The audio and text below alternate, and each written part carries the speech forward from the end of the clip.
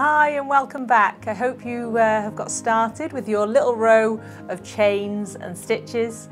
Now we're going to learn how to turn corners and turn them into usable products. So in this session I'm going to teach you how to make little mug cozies or little plant cozies and then you could actually continue to make it a little bit longer and make a headband or even make it a little bit wider and make a scarf. If you're feeling really adventurous you could even have a really long chain and start to create your very first blanket. But basically, we're going to be learning about doing straight line crochet and, and the corners. And once you've got those mastered, you'll be really confident to try any video that you see or any project that you see that's a straight project. And then in the next video, we'll go on to granny squares, which then is a circular motion. And then you'll have everything covered really, and you can crochet everything for gifts, uh, for the rest of your life. right, okay, so I'll just run through the beginning process, um, which we've already done in the last video, um, just as a little recap so you can get started. So you've got your little slip knot, so that's just where you pull the yarn through the little fishy, and then you put your crochet hook on. And what we're going to be doing is you do need to decide based on the size of the mug that you're doing. So I'm going to do this mug here. So I'm going to do yarn over and pull through to create my chain. And I'm just going to keep doing this until I think it's about the same length as my, or same height as my mug. So I'm just going to check that in a second. So these are just chains to get started. There we go. I reckon that'll make a nice little cozy. Now what I'm going to do is I'm going to start a row of double crochet into each of these chains. So I'm just going to skip the first one, which I am going to explain in this video, and then I'm just going to go straight into the next chain, go underneath, pick up the yarn, pull through, and then yarn over and pull through. Hopefully this is all feeling a little bit easier on your hands now, now that you've had a little bit of practice. And I'm going to go all the way to the end.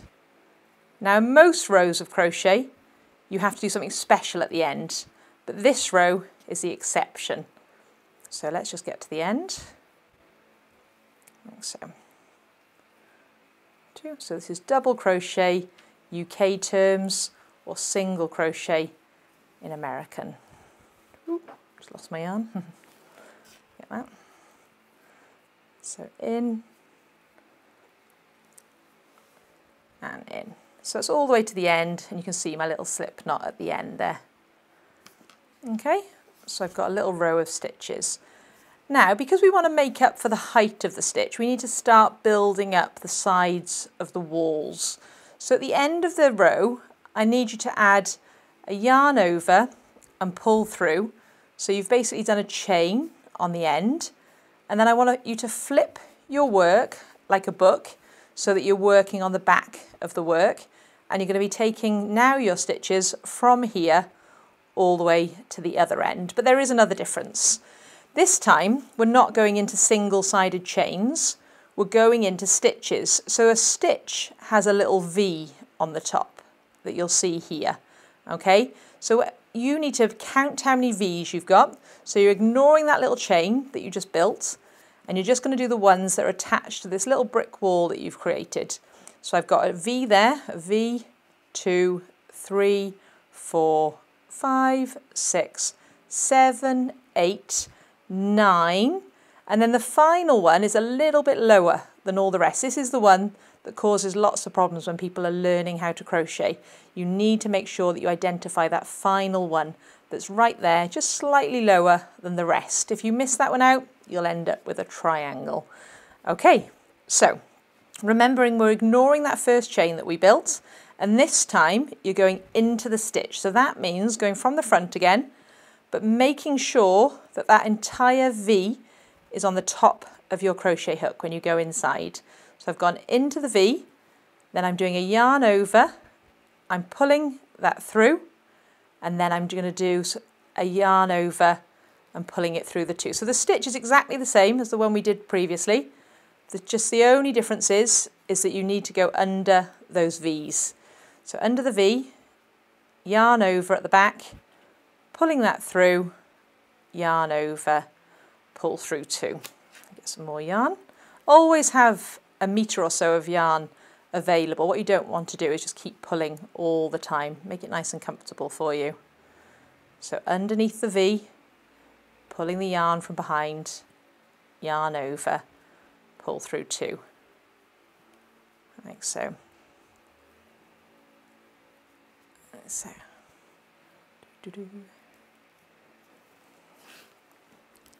Now the bit we're going to talk about for a while is the very last stitch.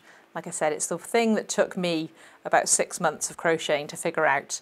And now I've got it. I never make a mistake anymore, which is great. So we're at the last stitch. So we just did the previous one. And then the last one, we can see there's this little V here, but I actually want us to go in to the space a little bit below it. So if I pull it with my hand, I can see a slightly bigger hole there. That's where I want to go. So I'm just going to go in below that V. All right, so I've got the V on top, yarn over, pull through and through. Okay, so it ends up straight, even though it starts lower, it kind of sorts itself out. So don't worry about it, but you really have to look out for that when you're learning. Then we're at the end of a row again. So we're just going to do a yarn over and pull through.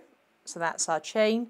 We're going to flip it like a book and then we're off, off again. So I'll do this row a little bit faster. So we're skipping this one.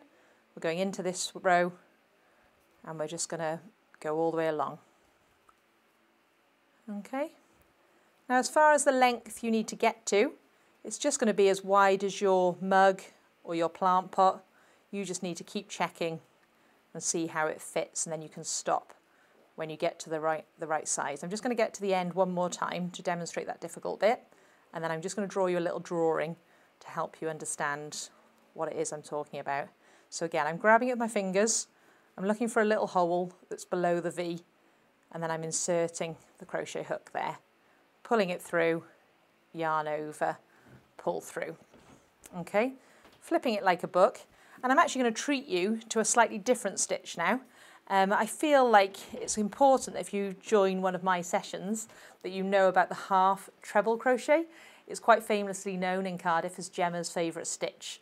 I just love it. It's the first one I ever learned and I thought for about a year it was the only stitch that existed and therefore I just always teach people this one and I think it's easier and faster than what we just did but some people disagree so I'm going to give you a little a little special treat of learning the half treble crochet so what you do for this one is you do you need actually two chains at the beginning because it's a little bit taller and then before you go into that first V you're going to do a yarn over. So that's just the yarn over exactly the same as we have been doing. So that's the only difference with this stitch.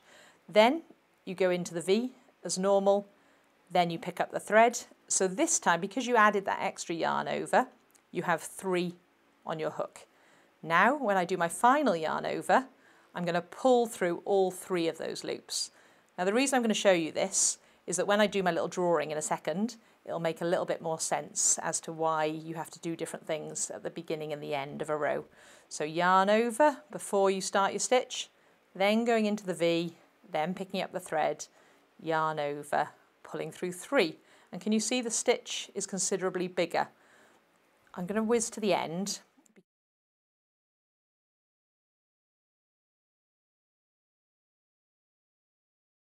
Like I said, the reason I really like this stitch is one because my hands kind of do it naturally because I did it for a long time thinking it was the only stitch and also because it does grow nice and fast. That extra yarn over makes it almost double the size.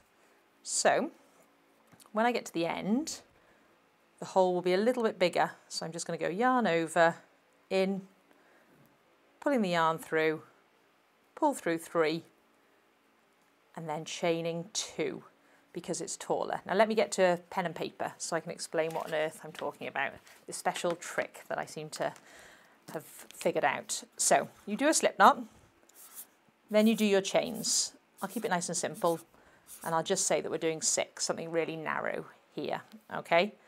Then what I told you then was to add an extra chain. That extra chain ends up being like the turning chain. So the one that goes up along the side of your little brick walls and that helps build the height. If you didn't add that and you went straight in and did a stitch in that first chain next to it, then you'd end up with these really condensed, really kind of tight stitches. It'd be like a rug. So what we're doing is we're building up the height on the sides so that your work is nice and stretched. So when you do that first stitch into that chain, it creates a nice kind of tall stitch. So there we go, all the way along. When you then get to that the end of that row, you add another chain to make up for the height. And then you go into the space from the previous row and you've got your six stitches continued. If you want to do a taller stitch, so let me just pretend that what I just did there is where I changed to a half treble crochet. I added two chains because it's a taller stitch, so I need to make sure that I go the extra height to make sure they stand prouder. And then at the end of the row, I add two chains so that again, it goes into the nice tall height. And then what you're looking for when you get to the end of the row is that chain space. So it's important that you go inside there and then your work will be nice and straight along the edges and you won't lose stitches. So hopefully that random little sketch will help you figure out how to make sure that you don't like lose or add stitches when you're creating your first piece of work. So here's one I prepared earlier. We're going to turn this into the mug cozy now. So you'll see this was where I started with my slip knot. I did, I think it was about 12 stitches. I've gone back and forth, back and forth, lots and lots and lots of times. And here I am at the end of the row. I'm happy that it fits my mug nicely and I'm ready to assemble it. So all I'm going to do on the final row is I'm just going to do my one chain as normal and then I'm going to start doing some stitches along. One, two, three. You can do as many little uh, buttonholes as you want. I'm just trying to find the middle of mine. Four, I think it's this one. Here we go. So I'm going to pause there and I'm going to make a little loop that the button can go into. So I'm just going to do some chains in the middle of a row there. So yarn over and it depends on the size of your button. You just need to keep going until you think it would fit neatly around the button that you've chosen. I've gone for this nice vivid yellow one. So I think it needs about eight or nine chains to fit around it comfortably. There we go. And I'm happy that the length is going to be enough for the button. I'm just going to go all the way down to the bottom.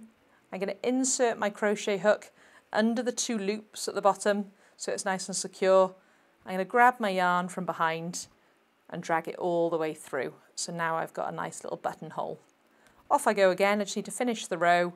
So I'm just going to do that with normal stitches. One, two, three, four, and five to the end. That's it. All right, and then finishing off your work, just need a pair of scissors, cut off about 15 to 20 centimetres more than you need because we're going to weave that in afterwards so it's nice and secure. But we can finish it off with a knot for now. So you just do yarn over and pull this one all the way through like so. All right, that's nice and secure. Then to weave in, you can take um, a small needle or you can just do it with your hands is you can just take it on a little mystery journey so that it's kind of woven amongst the work. I'm just going to use a crochet hook to help. So I'm just going to pull it through and take it on a little mystery journey. Like so. Like I said, you could do this with a small needle if you had one, or like, like a darning needle. So just picking that up, pulling it through, like so. When I've done that a few times, I'm then going to cut it so that it's kind of lost amongst my work there. The final stage is then to attach my button. I'm just using a random little bit of elastic that I had in my box of my box of box of crafts, but you could use some thread, a bit more wool, anything really. So I'm just going to pop it through. I'm actually just going to attach the button first, so make the design on the top just to keep everything simple for myself. So here you go, I'm just putting it, pretending to secure it there. So I've just got two ends at the back and then I'm going to place it in the middle so it's the opposite side to the loop.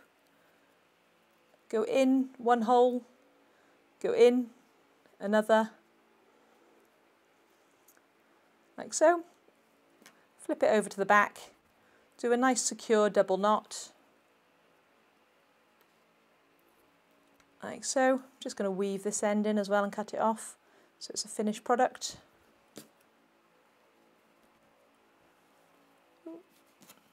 Weaving in is, no is notoriously everyone's least favourite part. You get all excited, you finish your work and then you've got to spend hours weaving in but it is quite important obviously. So there we go, got it all finished off and then finally we're just going to wrap this around our cup. We're going to pop the button inside the loop and then we're going to gift it to someone and they're going to be super happy and then they're going to ask you to make more. All right, so keep practicing those, keep getting those straight lines. Um, some will go a little bit wrong, but don't worry too much. I think that's part of the learning process with crochet. It definitely takes a little bit of perseverance. And then when you feel confident, join me again for the next video when I'll teach you how to do granny squares and then how to turn them into beautiful homeware and clothing items. See you soon.